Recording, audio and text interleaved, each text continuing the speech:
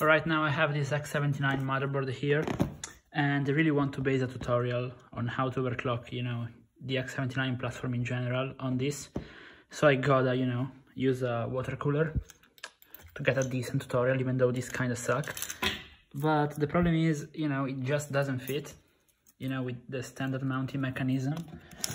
All right, uh, you, you can just see it because there are those screws and so this one can't properly go up. And so, well, now we're gonna use those screws and, you know, we have a couple. And now we're gonna use the fact that this kind of socket has like this hole and we can screw in there. Look at it.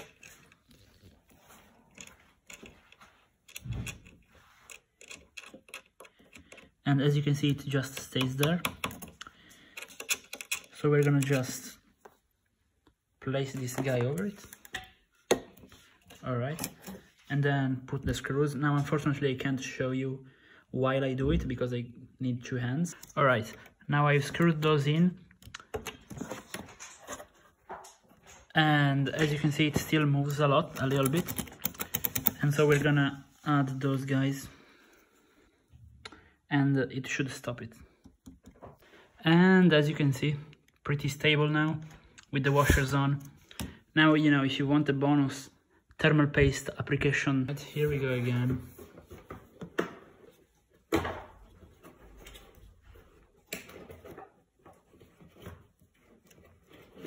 Clean and easy.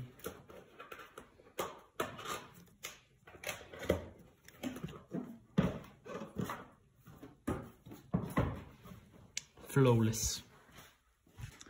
Now, little bonus tip, I had to use those ones with washers mainly because as you can see the part that can actually go inside is pretty small. Now if you happen to have bigger screws like those ones you can actually just use them you know without washers. And you know I didn't but if you have one of those which is small enough to fit that's perfect. You know no washers easy you can just screw it in and we work flawlessly. All right here we are. Just two screws in the end because they wanted to save screws. Now because I was lazy. And well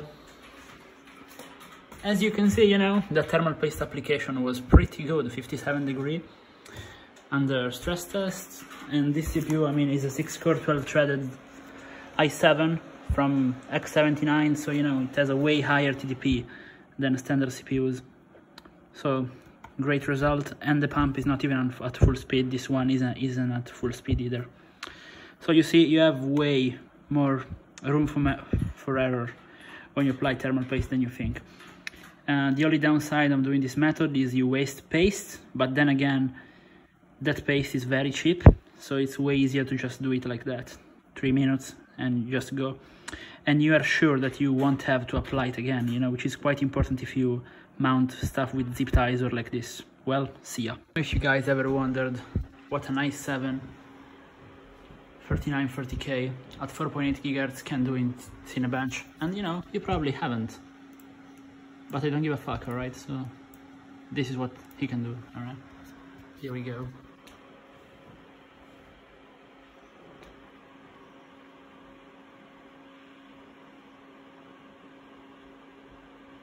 And remember we are on a 120 mil AIO with just two screws.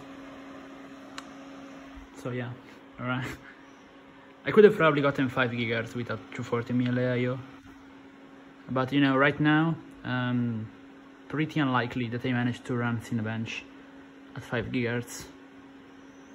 Alright alright as you can see it was pretty fast. And oh come on you can't crash now you know I mean, did you really think that you could ruin, alright, my Cinebench run and not pay any consequences? Well, 1.525 volts. I guess this time you will make the run, you know?